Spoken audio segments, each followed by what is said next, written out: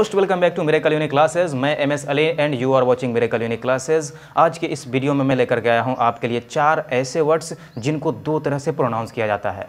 वो आपको लगता है जैसे कि उसका प्रोनाउंसिएशन एक ही होना चाहिए, लेकिन उसके दो प्रोनाउंसिएशन होते हैं। और दो प्रोनाउंसिएशन होते क्यों हैं? उसके दो उच्चारण होते क्यों हैं? ये मैं आपको इस वीडियो में बताने वाला हूँ। आपको ये पता होगा कि एक अंग्रेज़ी शब्द की कई कई हिंदियाँ होती है और कई कई हिंदियों की एक अंग्रेज़ी शब्द भी हुआ करती है। ये आपको पता होगा।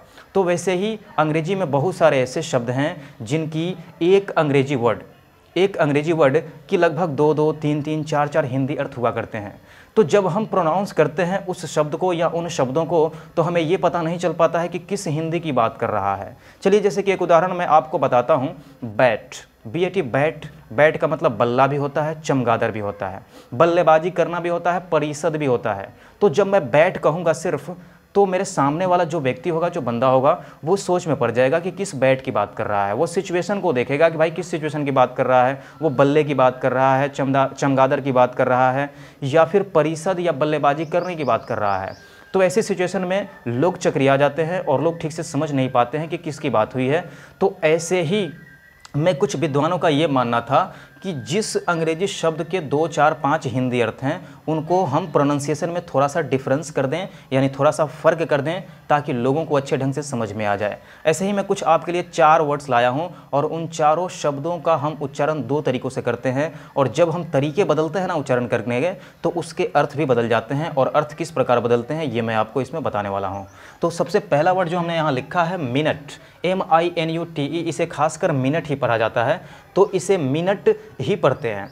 तो M I N U T E minute का मतलब होता है मिनट, वही घड़ियों का मिनट, है ना? वही मिनट की बात हो रही है M I N U T E लेकिन M I N U T E को आप माइन्यूट भी पढ़ सकते हो। माइन्यूट कब पढ़ोगे? जब इसका मतलब सूक्ष्म हो। आपको ये बताना हो कि कोई चीज़ बहुत ही सूक्ष्म है तो आप वहाँ पर मिनट नहीं बोलोगे, उस मिनट को आप माइन्यूट बोलोगे और जब आप माइन्यूट बोलोगे ना तो इसका मतलब होगा कि भाई आप मिनट की बात नहीं कर रहे हो, आप तो सूक्ष्म की बात कर रहे हो। तो ऐसे ही इस वर्ड को हम दो तरह से प्रोनाउंस करते हैं मिनट और माइन्यूट तो आपको ये बात समझ में आ गई होगी कि मिनट कहते हैं तो घड़ी का मिनट और माइन्यूट कहते हैं तो सूक्ष्म। और इसकी स्पेलिंग आप देख ही रहे होंगे, कोई भी बदलाव नहीं है। कोई भी बदलाव नहीं है, जो लेटर्स ऊपर हैं, वही लेटर्स ऊपर ही हैं। यानी कहने का मतलब है, ये जो शब्द हैं, इसमें जो स्पेलिंग है, एक समान है, लेकिन इसको हम प्रोनाउंस दो तरीक़ों से किए। हमने दो तरीके से क्यों किया? ये दर्शाने के लिए कि अगर हम माइन्यूट कहेंगे, अगर हम माइन्यूट कहेंगे तो इसका मतलब सूक्ष्म हो जाएगा और मिनट कहेंगे तो इसका मतलब मिनट होगा। दूसरा वर्ड जो है, वो है live L I V E live ये तो आप सबको पता ही होगा एल आई वी ई को हम लिव पढ़ते हैं, लेकिन लिव ही नहीं, बल्कि इसको लाइव भी पढ़ते हैं।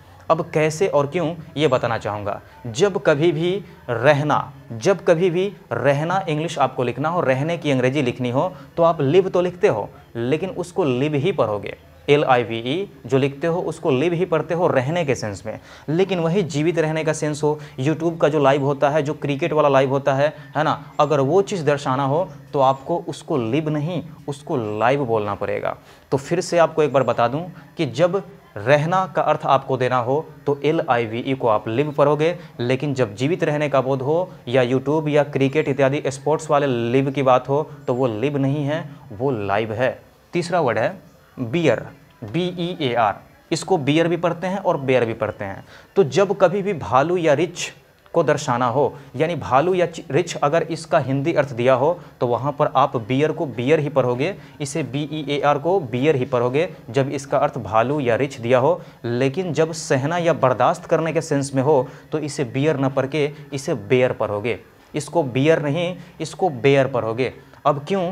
क्योंकि जब आप बेयर कहते हो ना, जब कहोगे बेयर तो लोगों को ये समझ आ जाएगी कि भाई आप सहने या बर्दाश्त करने की बात कर रहे हो। और अगर आप बियर बोलते हो तो इसका मतलब है कि ये रिच या भालू की बात कर रहा है। लेकिन कुछ विद्वानों का ये मानना है, कुछ लेखकों का ये मानना है कि ये सिर्फ़ बेयर है।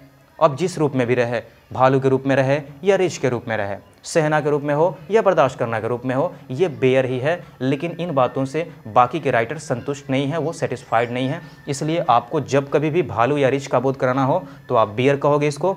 और अगर सहना या बर्दाश्त करने का अर्थ देना हो तो आप बेयर कहोगे। आज का लास्ट वर्ड जो है, वो है read R E A D read जिसका मतलब होता है पढ़ना।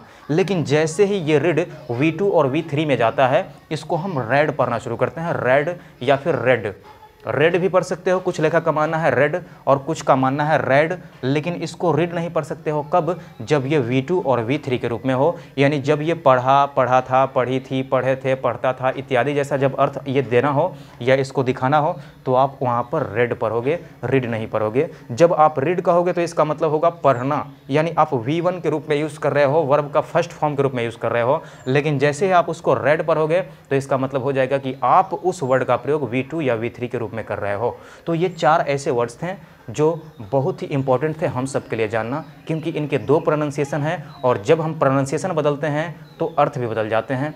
तो ये वीडियो आपको कैसी लगी या ये वर्ड्स की जानकारी लेकर के आपको कैसा लगा, ये कमेंट बॉक्स में बताना मत भूलना। और आपको और क्या चाहिए और किस प्रकार की वीडियो चाहिए, ये भी बताना ना भूलना, क्योंकि मैं हफ़्ते में लगभग दो वीडियोज़ कमेंट पर ज़रूर बनाता हूँ और आपके कमेंट ज़रूर पूरे होंगे। ये मेरा वादा है। वैसे लोग कहते हैं कि वादे तो टूट जाते हैं पर एम एस अली के वादे कभी नहीं टूटते। जो एक बार कमिटमेंट कर लिया वो कर लिया। उसके बाद किसी की नहीं सुनता। ये डायलॉग आप लोगों ने सुना होगा। खैर डायलॉग वायलॉग को छोड़िए। इन सारे शब्दों को आप अच्छे तरीके से देख लीजिए और याद कर लीजिए। एंड आफ्टर डेट अपनी लैंग्वेज में भी इनका इस्तेमाल करें। और जब कभी भी कोई व्यक्ति इसका प्रोनाउंसिएशन दो ढंग से करे तो किस ढंग से वो कर रहा है, ये तो आप सुन ही लोगे। और उसके अकॉर्डिंग आप ये भी पता कर लोगे कि भाई इसका अर्थ क्या होना चाहिए। कोई माइन्यूट बोलेगा तो समझ जाना कि सूक्ष्म की बात कर रहा है। मिनट बोलेगा तो घड़ी वाली मिनट की बात कर रहा है। लाइव बोलेगा तो जीवित रहने या लाइव वाले की बात कर रहा है। और लिव बोलेगा तो रहने की बात कर रहा है, सो प्रोनाउंसिएशन पर ध्यान देना बहुत ज़रूरी होता है। तो ये थी आज की एक ऐसी वीडियो जो हम सब के लिए बहुत ही इंपॉर्टेंट थी मोस्ट इंपॉर्टेंट थी। सो डियर स्टूडेंट्स मैं फिर से मिल रहा हूँ आपके लिए। नेक्स्ट वीडियो में तुरंत मिलूँगा। तब तक के लिए have a good day have a nice day